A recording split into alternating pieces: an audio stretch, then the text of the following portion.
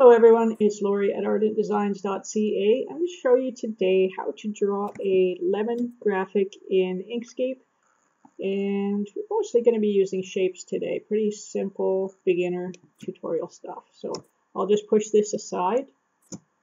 And let me just discuss this just for a minute. So when we create a graphic like this, it has a shaded side. So where the light is probably not going to access and then on the you know on the top where the sun can access we're going to have a shine side. So we're going to learn a little bit about that. Let's grab the circles tool click on the board create an oval about like that. And I'm going to make sure that it just has a fill for now. Just press shift and X and make sure that it's just a fill. Let's go over to the yellow colors and we'll choose this Let's see, let's choose this color right here. And then I'm going to go to the squares tool. I'm going to click here. And you'll see it's kind of rounded. Like if I zoom in here, you'll see that we get this circle. We can make it nice and round. So just pull it down all the way. And then I'll press Shift, select the oval, and we're going to go to the Align tab right here. Double click and it should open up. Just align it on the vertical axis and I'll zoom out here. So now that it's aligned, I want to duplicate it, right click, go to duplicate, and we'll just press control. We'll drag a copy down here.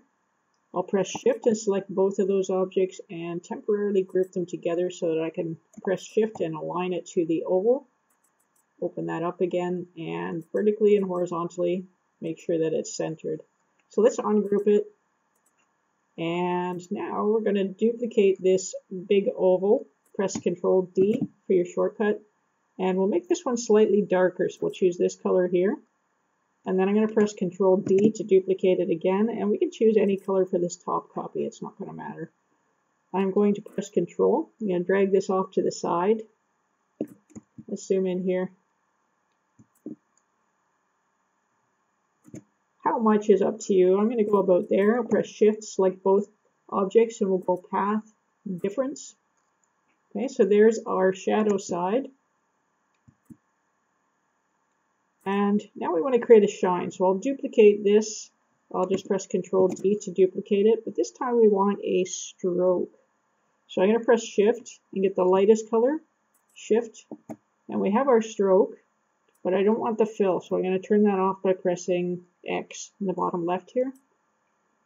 Okay, so that stroke is pretty darn big. So let's let's change that. Come up here to this button, Edit Objects, Colors, Gradients. Let's choose, let's see what 30 looks like. Okay, that's probably fine. I'll close that up for now. And with the stroke selected, this uh, light colored stroke, we're going to go up to Path, Dynamic Offset. And we get this little node type thing. I'm just going to pull it in and this will help us um, size it symmetrically so it's the same only smaller.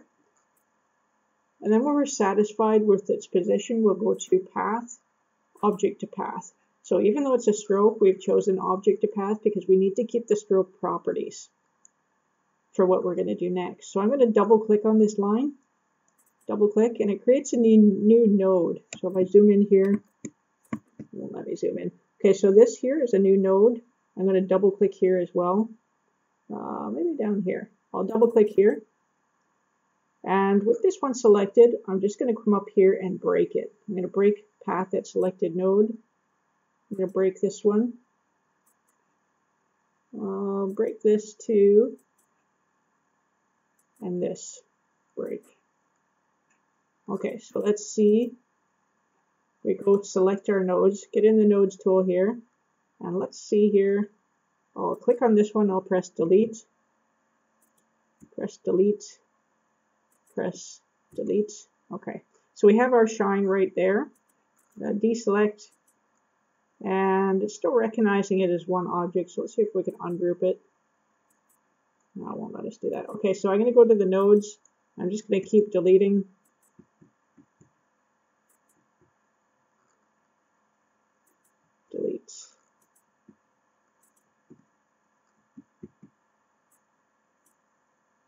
and delete. Okay, so that's the object that we want to keep, this portion here.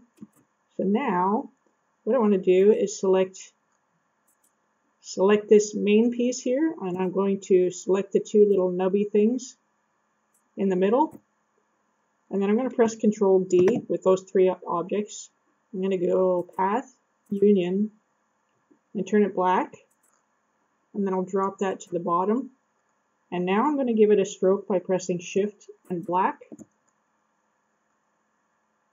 Okay, so that looks good. I'm going to go path, stroke to path to finalize that.